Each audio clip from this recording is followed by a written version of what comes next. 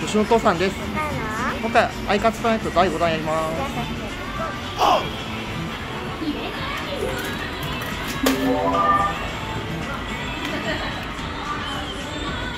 ゲームをするときは画面に近づきすぎないでね。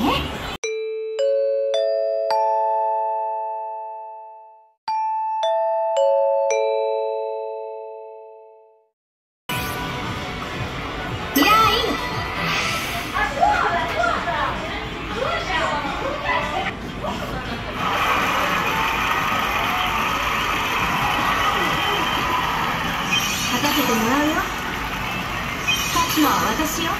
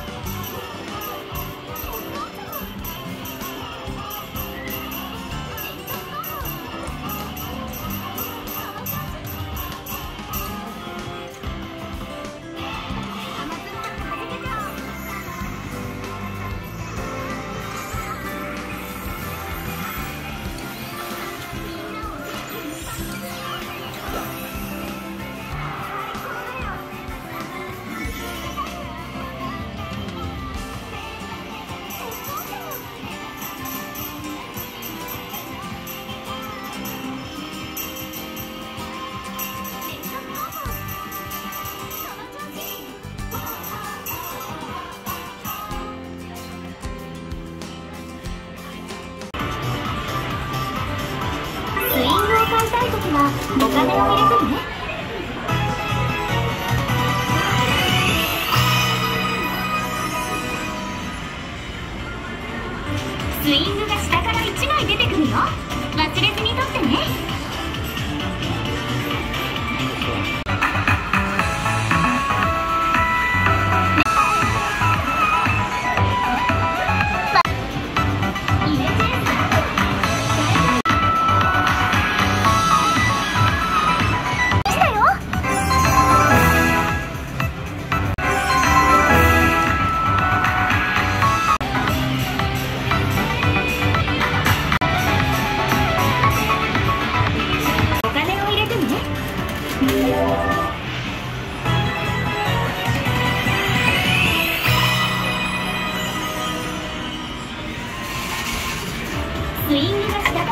今